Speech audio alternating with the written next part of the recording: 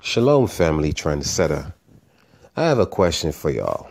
Did Trump use this death of the general in Iran to secure his 2020 election? And the answer to that is absolutely yes, he did. See, y'all don't understand, right? That prophecy has to be fulfilled. In the Bible, it says in the last days, the Mede, which is the Iraqis, which is the Iranis, they are going to be the one to turn the arrows to the west. Okay, so by Trump actually killing this man, murdering this man, what he have actually done, he have literally stroke a fire and World War III is about to break out. I told y'all in past video that I personally believe that 2020, before our new year begins in spring, okay, not in January when everything is dead, that something major was going to happen. And I believe this is it. I also told y'all in past video, if you don't believe me, go back and, and watch all the videos that I've made. In, in the closing or in the middle of the video, I'll tell y'all that 2020 is going to be a year that something major was going to take place. Or actually, what I did say was before the year ends, right, or before the year begins, which is our new year, which is in, in April of 2020, according to man's calendar, that is, that something major was going to happen. And I personally believe this is it because this is going to affect the whole world. Should America and Iran go to war, I'm telling you, it's going to affect the whole economy here in the United States of America because you're going to have a lot of um, stuff. You know, price is going to go up on oil first of all, right? Which means it's going to affect the gas. Then you're going to have inflation on food items because you you know if gas prices go up, then you're going to have these trucks that that actually transport these goods to these stores. They're going to charge more money for doing so. So it's just going to be a, a, a trickle down effect, trickle down effect. So I want y'all to understand, family, that you know this is a time now we're going to have to come out of our comfort zone and we're going to have to start preparing. Once again, I've been saying it all along. We need to start pulling out this monopoly money in the bank and start buying tangible stuff because I'm telling you, soon enough, you're not going to be able to, you know, afford some of the items that's right now readily readily available at a cheap price.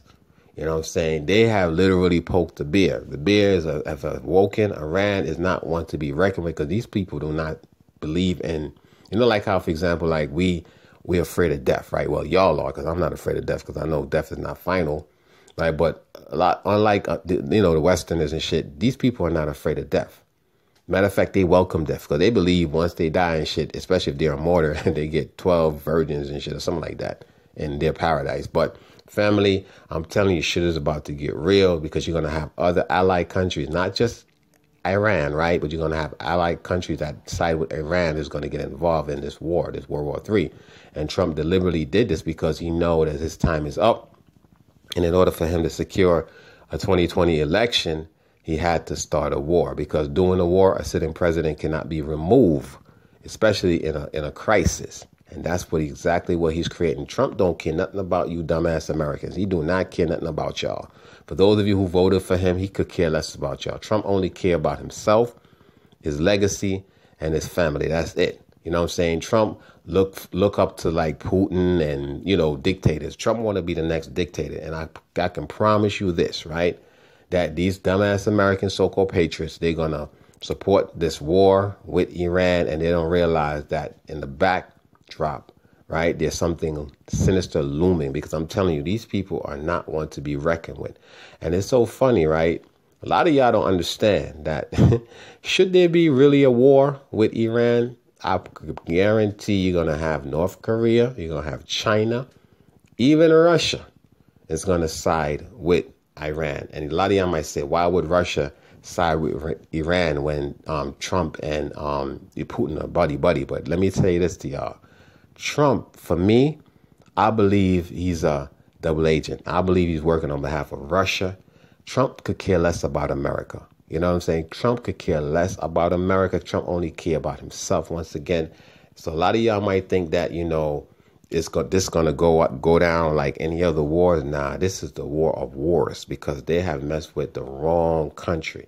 So once again, family, in closing, I believe it's time for us to wake up, really wake up, and start paying attention to what's going on around the world. Trump used this occasion to secure a 2020 election, and by all means necessary, he's going to make sure his ass stay out of prison. Because once he become impeached officially, and he doesn't go back as a president for 20 what 2020 he's going to be locked up and he's going to avoid that